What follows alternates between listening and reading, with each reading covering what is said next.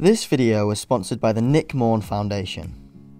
Hey, it's Ben and Kira here from Going Green. And today we're going to show you how we as two vegans eat and give you some tips on how you can transition into a vegan lifestyle in 2021, or if you just want to incorporate more plant foods into your diet. Woo! To start off, we're going to be taking you food shopping with us and give you some of our best vegan shopping tips along the way. Then once we get back home, we'll show you some of our best plant-based recipes which you can test out yourself. Where we choose to shop depends entirely on our budget for the week. We try to get the majority of our fruit and veg from the local market stalls in West London and dry goods and pantry stuff from places like Whole Foods, Planet Organic and Zero Waste shops. These zero waste shops are becoming increasingly popular. Yes, they can be a little bit more expensive, but they often have items in bulk that you can't find anywhere else.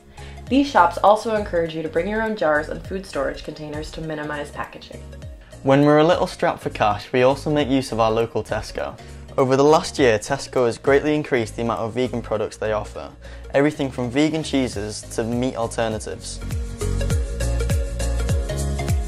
When you look at your kitchen, you should be able to break it down into frozen, pantry, and fresh. Here are some vegan staples that we always make sure to grab at the shop.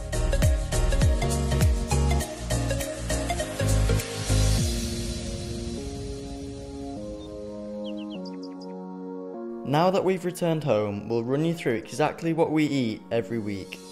We always have potatoes, onions, garlic, and parsnips on hand, carrots, spinach, grapes, a selection of herbs, snap peas and bok choy for stir fries, cucumbers, celery, broccoli, a big bowl of fruit, including avocados and tomatoes, and some citrus in there as well.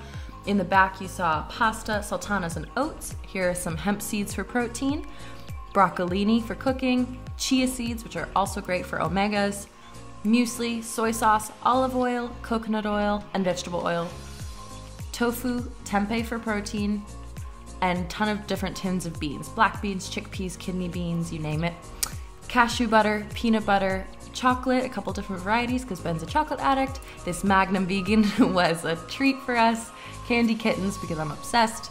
And finally, we have some non dairy milks, butter, yogurt, and cheese.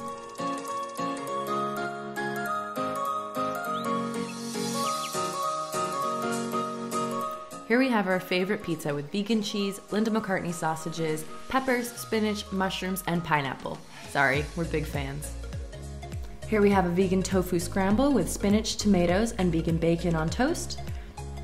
A Nando's BLT made with tempeh with the lemon and herb sauce, some avocado, tomatoes, spinach, and also on some bread with the vegan Perinaise.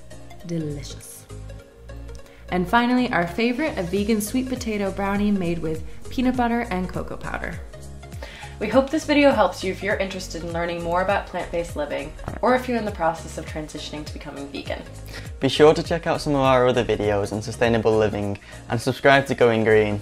Thank you, and we'll see you in the next one.